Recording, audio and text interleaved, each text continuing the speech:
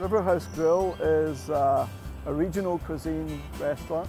It's a destination restaurant. We have uh, probably about 30% of our customers come from Edmonton.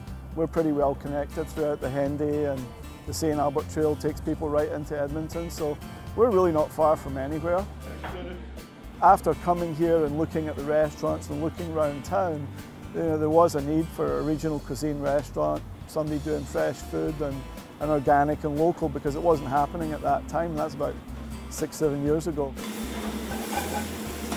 Talked to a few people over at City Hall. They're pro-business. You know, when I went over there to say this is what I want to do, this is what we'd like to do, everybody was uh, very helpful.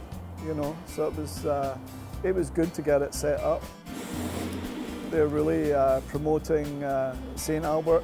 They're promoting local producers. You know, it's been a it's been a good uh, working relationship with them.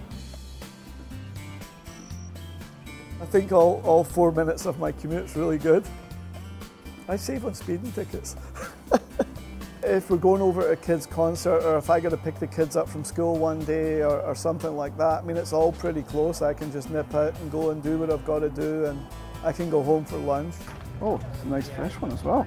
Absolutely, that, that will do us very nicely. The business community seems to be pretty tight-knit here. I mean, everybody seems to get along and, uh, you know, there, there's lots of stuff going on. I don't know, competition's good because it makes everybody stronger. More businesses, lower taxes.